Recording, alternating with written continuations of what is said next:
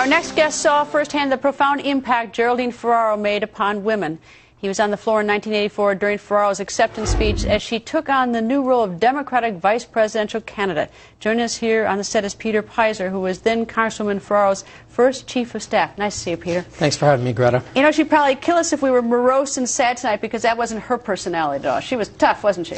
Not at all. She's very tough. And in fact, just a couple weeks ago, I had the chance to spend a couple hours with her uh, visiting in, in her uh, home in New York. and and we were talking about today's politics and, and what's coming up in the future in American politics and, and then our, in our families. And she was very much looking ahead. And, and uh, right up to the end, she was thinking about the issues that we're all talking about all the time and, and had her very strong opinions always. You know, whether you agreed with her or not, I don't think you can deny the fact that she was truly passionate about her positions and she really gave a damn. And she, you know, this was not just some sort of game with her of being a politician. She really cared. Oh, she really did. And and you know, you your last segment about the 2008 campaign and some of the controversies that came around that. I mean, that was really just Gerry speaking out about fairness, speaking out about the importance of everyone being treated the same and she got called out by people who didn't understand Viciously. what she was saying, and uh, and it was a very difficult time for her. We were working very closely at that time, and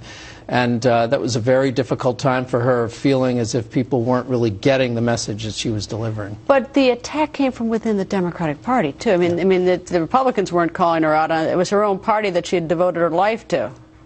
Yeah, that's true, and, and I think uh, obviously when when any party sees a fight going on in the other party, it's smart to just stand back yeah, and, and, and yeah, let it happen. Yeah. Uh, but yeah, it, it, was a very difficult time for Gerry. I mean, she was a strong Democrat, and uh, she wanted the Democratic Party to succeed, and, and it did in 2008. And I think as the campaign went forward, she she felt better about about how the party came together. But that in that part of the campaign, it was a very difficult time while she was still sort of transitioning from her hard work for, uh, for Senator Clinton.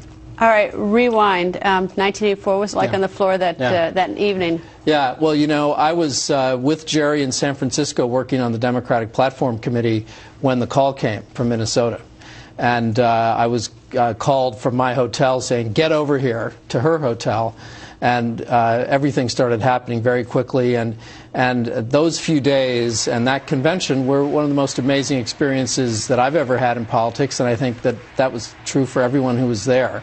Uh, on the floor that night, uh, you had. Uh, a lot more, a lot higher percentage of women on the floor than you had had the previous nights at the convention. Most of the men who were delegates gave their passes away to the alternates or, or others who uh, were women who would really enjoy being there. And, and it was a terrific uh, experience to see her up on that podium uh, speaking. Uh, and uh, I, you know, I, I don't think I've ever had an experience like that in my career, and, and there wasn't a dry eye in the house. I think everybody was excited about it. I mean, if, yeah. if you're old enough to remember it, that uh, and it didn't matter if you're Republican or Democrat. I mean, even Governor Palin was talking about you know how mm-hmm. she was excited about it, yeah.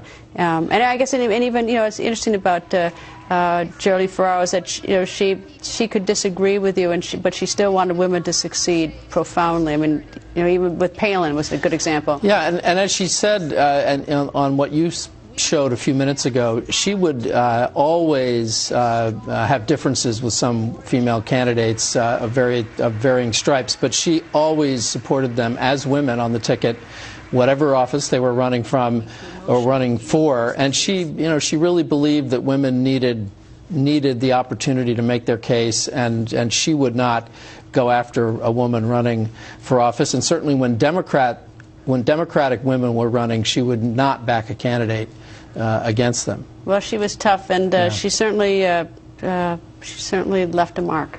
She left a huge mark, and you know I, I, was with her in the '84 campaign, and, and went to a number of events, uh, traveled with her, and you would see three generations of women Showing coming up. to those events in the thousands.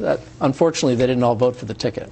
But Peter, thank you. Great to have you. Great Coming to be up, here. A flashback to 1984, the first.